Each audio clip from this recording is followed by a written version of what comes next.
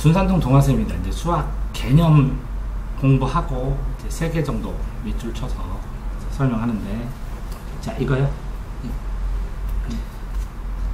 자 여기에서 이런 식이 니은이 있는데 m은 0이 아닐 때 그죠? 어떤 값을 가지더라도 니은은 두 직선 교점을 지나는 직선 L 다시는 표현할 수 없습니다. 이렇게 나오네요. 아, 요 말 자체. 자, 여기에서 보면 음, 이렇게 기억을 양변을 m으로 나눈 후 k k 값. 그러면 이렇게 하나의 식이 있고 k 값이 있고 이렇게 더하기 여기 더하기죠? 더하기 하고 k 곱하고 이렇게 식이 있죠.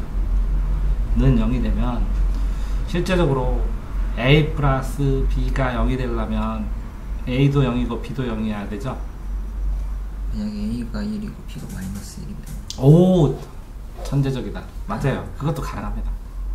가능합니다. 이제 근데 이게 k랑 상관없이 k랑 상관없이 0이라 그러면 k랑 상관없이 하면 지금 가정한 게 안 되죠.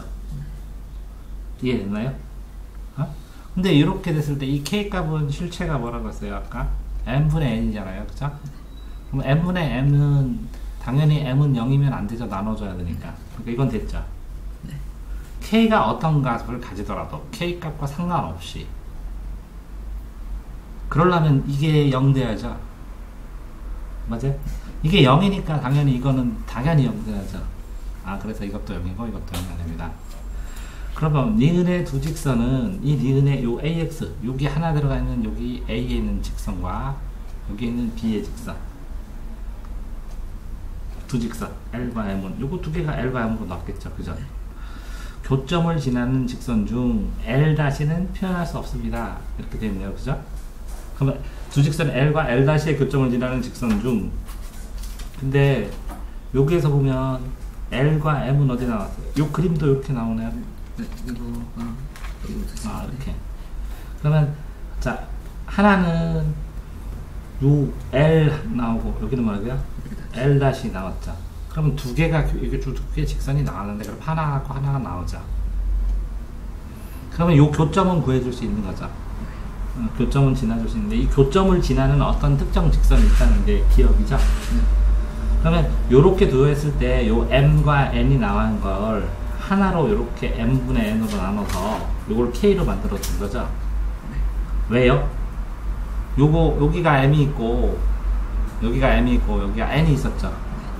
여기 m이 있고 여기 n이 있었는데 그러면 m n으로 두 개의 변수가 있으면 방법이 없어져 버리잖아요. 그죠? 그러니까 양변을 m으로 나눠주면 이것도 1이 되고 여기가 m분의 n이 돼서 이게 k가 되고 이거는 0이 되니까 상수로 하나로만 만들어 주잖아요. 그런 다음에 이 상수와 상관없이 그럼 어떻게 보면 m 대 n과 상관없이 이런 거나 마찬가지잖아요. 그죠? 그러니까 n 대 n과 마찬가지로 그러면 이게 요식도 0이 되고 요식도 0이 되니까 1차식이 두 개가 나온 거죠. 됐어요? 그러면 교점은 존재를 했죠. 뭐, 평행하지 않으면 평행하지 않으면 교점이 생기겠죠. 근데 요 두 점이 두 점이 평행하면 어떻게 됐을까요? 교점 없죠, 그죠? 이 두 개가 일치하는 무수하게 많죠. 근데 여기에서는 두 직선의 교점을 지나는 직선이라 했으니까 맞아요?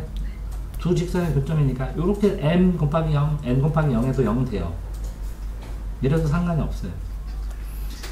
이게 0 되고 이게 0 되면 m이 있던 n이 있던 상관없는데 실제적으로 만들었을 때는 a 여기에다가 kb 이렇게 만드는 것 뿐이죠. 왜? 그 전에 요거 배울 때 언젠가 이게 배운 게 나온 거니까 이게. 그러면 자 여기에서 두 직선 LM 위에 있는 자 임의의 두 상수 M, M, N, N 하고 M 플러스 N, N 0 하고 여기까지 돼서 교점이 지나가고 M은 0이 아니니까 M, N에서 직선 L 다시를 나타냅니다. 그 교점은 직선은 제외한 L과 L 다시를 제외한 직선을 나타내 준다는 거죠. 제외한 직선이 뭐예요? 이것만 아니고 N. 음. 그 요 점을 하는데 요 두 개 외에 지나가는 것들을 얘기해 준다는 거죠. 왜 그러냐면 이것도 있고 이것도 있는데 교점을 했는데 교점을 했는데 요 직선이 됩니다. 그럼 이상하잖아. 그럼 교점이 아니잖아. 그러면 요거까지 다 이해됐어요? 네. 어. 그러면 m이 0이 아닐 때 k가 어떤 값을 가지더라도 됐죠. 그럼 항등식을 만든 거죠. 니은의 두 직선은 l과 l-의 교점을 지나면 되죠. 네. 직선 중 l-는 표현할 수 없죠. l도 음. 표현할 수 없죠. 그럼 됐어요? 네. 아, 그럼 이거 다 푸는 거예요? 다음 거. 그 자취를 언제 쓰는지. 아, 자치요? 음, 예를 들어서, 이런. 음, 이렇게 있을 때, 여기 일점 점이 있다고 쳐봐. 그럼 여기 x, y라고 쳐봐요. 근데 이 x의 관, 이 x, y를, x, y, y의 관계를, x를 제곱하고, y를 제곱하면, 그죠? r 제곱이 된다고 쳐봐요. 그러면 이 원점부터 요거를 r이라고 쳐봐요. 그러면 x, y가 몇 개나 될까요? 이렇게 원으로 여러 개가. 왜 그러면 여기다가 이걸 넣든지 1영을 넣든지 마이너스 1영을 넣든지 이걸 넣든지 이걸 넣든지 값이 똑같아지죠. 네. 똑같이 이렇게 x제곱 y제곱은 r제곱이 되면 이렇게 해서 x제곱 y제곱에서 y제곱이 되면 여기가 뭐예요? x가 되죠. 여기가 뭐예요? y가 되죠. 여기가 r제곱이면 결국은 피타고라스 정리 써놓은 거네요. 이걸 원의 방정식이라고 그래요. 그러면 x와 y의 자치의 식을 써라. 그러면 그 자치가 뭐냐? 흔적이다. 흔적은 뭐냐? 그거의 움직임이다. 그죠? 그러니까 x점과 y점, x, y라는 p점의 자치의 흔적을 써라. 그럼 이렇게 원의 방정식으로 쓸 수 있는 거거든요. 이해되세요? 그러니까 실제로 어떤 식이 있었을 때 여기에 점이 있습니다. p점이 있습니다. 이렇게 x, y에. 그래서 이 점이 움직이는 조건을 써줘요. 숫자로. 저 끝쪽에 조건을 써줘요. 그러면 그 조건이 이거의 잠의 자치의 반정식, 흔적의 반정식. 그러면 이 자치를 뭐라고요? 그러면 이 자치를 방정식이나 식으로 만들 수 있는 거예요. 그러니까 이런 거죠. 하루에 두 개씩 빵을 먹으면 10일 지나면 몇 개 먹어요? 그럼 y는 2x 하죠. 네. 그러면 이 x와 y의 자치를 만들면 1차 함수가 나오는 거죠. 이해돼요? 그런 것처럼 일정한 조건은 식이에요, 식. 식으로 점 전체가 저 점 전체로 점이 모여서 뭐라고요?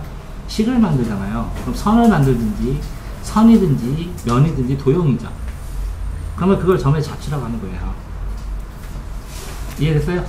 아, 그러니까 P점을 XY로 놓고 조건에 따라서 식을 말아. 그러면 이 F, X와 Y의 관계식이라는 거죠. 보통은 뭐라 그랬어요?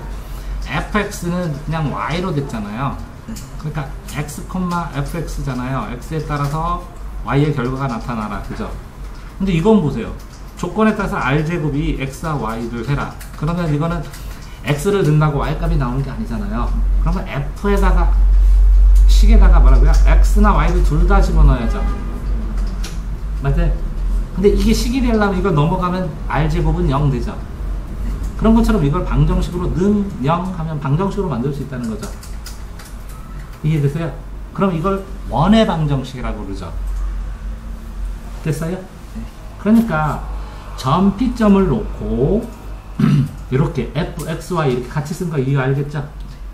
그래서 제한이 있는 경우 x, y의 범위를 밝히고 범위를 밝히는 어떤 걸 조건을 밝히든 뭘 밝히든 하든 뭐가 나왔어요? 방정식이 나왔거든. 됐어요? 아, 다음. 그 많이 물어봐요. 자치, 점의 자치가 뭐냐고. 또 예? 어, 긴, 깊이 생각하지 않고 빨리 넘어가면서 봤는데 음. 이 말투지 이것도 있잖아요. 이렇게 전체 하나 A, K, B는 네. 0이면 똑같은 요거가 요거. 예. 그러면 요 두 개의 교점을 지난다. 왜 그러냐면 A라는 게 있고 KB라는 게 있으면 이게 0이라고 그랬잖아요. 근데 여기도 XY가 있고 여기가 XY가 있어요. 근데 는 0일 때 이 XY 이 ax는 같은 XY죠. 그러면 이거 하나씩 A라는 식하고 얘는 0이 나오고 B라는 게 하고 는 0이 나오죠. 그럼 이게 연립방정식과 같이, 나오죠. 연립방정식은 보통 뭐예요? 연립된 두 방정식의 교점을 구하는 거거든요. 실제적으로는 이거는 뭐예요? 어떤 요것도 연립방정식이에요. 이게 0은 뭐예요? y축이니까 x축을 말하는 거죠. 어때요? x축하고 요거랑 a랑 같다는 거예요. 그럼 여기 교점 말하는 거네요. 맞아요? 그런데 요것도 뭐라고요? b하고 이건 a가 나타나는 거죠. 그죠? 어? b와 이거 0의 교점을 나타내 주는 거죠. x축과에. 이해되세요? 요 위에 거는 이거고 요 밑에 거는 요겁니다. 이해됐죠? 그런데 요걸 연립방정식은 0, 0이니까 a와 b를 넣은 거잖아요. 그러면 a와 b만 a 그리고 b 그리고 교점 하나밖에 안 넣는 거잖아요. 요거는 0은 0 하니까. 이해됐어요? 아? 그러니까 a와 b가 되는 거를 그렸더니 이 한 장에서 만난다. 그럼 이건 x, y가 뭐냐? 라고 물어보는 한 장. 그러니까 이 a식과 b식을 동시에 만족시키는 같게 놨으니까. 그러니까 a는 0, b는 0이니까 이렇게 되면 a는 0, b는 0이 되고 a는 b가 되잖아요. a가 b가 될 때, a와 b가 합쳤을 때 x, y의 점을 구하라 이런 뜻이에요. 됐어요? 네. 또 확장돼서 얘기를 하면 보통은 이렇게 방정식을 쓰면 애들이 이렇게 연립 방정식 아닌 줄 아는데 맞다는 거죠. 축하고 요 시가구의 교점을 구하는 거잖아요. 2차 방정식은 축과 이거의 교점을 구하는 거잖아요. 그럼 보세요. 여기는 ax 제곱하면서 2차 방정식이 있고 여기는 뭐 어, cx 플러스 d 해갖고 2차 1차 방정식이 있다고 치면 이렇게 하고 이렇게 하면 두 교점 구하는 거죠. 어제? 그럼 이걸 어떻게 돼요? 이거는 는 0이고 이거는 눈 0이니까 이걸 넘겨가지고 그죠? a는 b 식 이렇게 놓고 이걸 이쪽으로 넘겨서 뭐 ax 제곱하고 여기다가 뭐 어, bx 있으면 b하고 b 플러스 cx에서 이 참수를 또 만들죠. 어제? 이렇게 해가지고 요게 근해 공식으로 구하면 여기 x점이 나오죠. 됐어요? 이거나 이렇게 돼서 식을 다 이렇게 해서 근해 공식으로 는 이거를 만드나 똑같은 거라는 거죠. 이해됐어요? 음, 그럼 다 설명 다 됐어요? 네. 끝이? 수고하셨습니다.